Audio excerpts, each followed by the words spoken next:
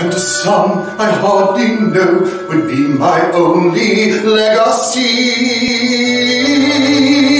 Is there a chance for me, for one who can finally see that there must be more than prosperity? Can I ever return to the bridges I have